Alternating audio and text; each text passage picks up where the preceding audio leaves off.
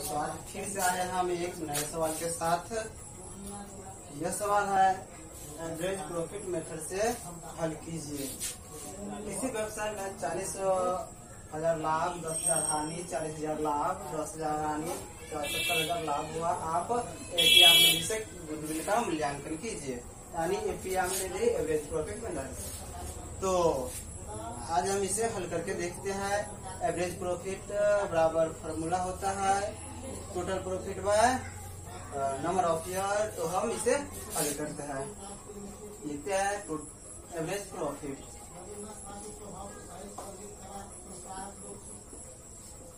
Profit बराबर total profit total profit by number of year तो total profit जो हमारा है वह साल के अंदर में, चाहे लाभ हो या हानि, सब हमारा प्रॉफिट है। तो इसे हम दर्शाते हैं, चालीस हज़ार लाभ है। हानि और जो है, दस हज़ार हानि है तो इंक्रीज है, इसे हम घटा लेंगे, यानी हटा लेंगे। फिर चालीस हज़ार लाभ है, यानी डिक्रीज है, बढ़ गया है, लाभ है, यानी एड कर लेंगे, जोड़ लेंगे। और फिर दस हज़ार हानि है, यानी लॉस है, यानी डिक्रीज है, इसे हम फिर से हानि को घटा लेंगे। और फिर से सत्रह हज़ार लाभ है, यानी इंक्रीज है, इसे फिर से हम एड कर लेंगे। और number of year, number of year जो हम इतने साल में हम इसे अर्जित किया इस लाभ को न डालेंगे। तो इसे हम अर्जित करने में पाँच वर्ष लगे हैं तो पाँच देंगे इसको, नंबर ऑफ़ ईयर में। तो इसको हम ऐड करते हैं तो पहले पॉलिसी क्रिया होती है, यानी जोड़ की, इसे जोड़ते हैं तो डेढ़ लाख होती है। यहाँ पर डेढ़ लाख हो गया। उसके बाद घटाव की क्रिया होती है घटाने के लिए भी माइनस माइनस को जोड़ लेते हैं। तो यहाँ पर जोड़ करके बीस लाख आ गया, माइनस मतलब बीस हज़ार आ गया बीस हज़ार इसका आ गया, माइनस। अब इसे घटा लिए तो घटा करके आ गया एक लाख तीस हज़ार। एक लाख तीस हज़ार। बट्टा में ये जो है नंबर ऑफ़ ईयर इससे इसमें डिवाइड किए तो आ गया छब्बीस हज़ार।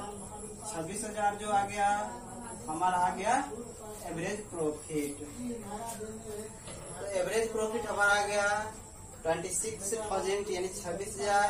तो अब गुडविल निकालेंगे। तो गुड विल बराबर फॉर्मूला होता है average profit multiply purchase of a year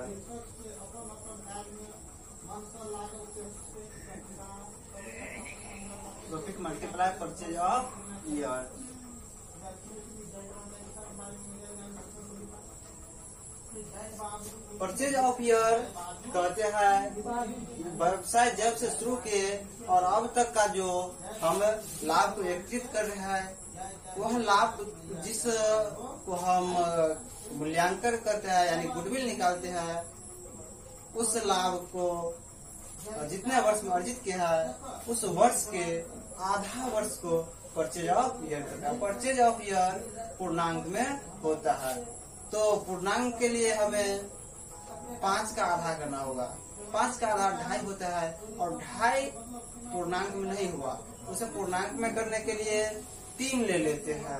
तो तीन पूर्णांक में हो गया।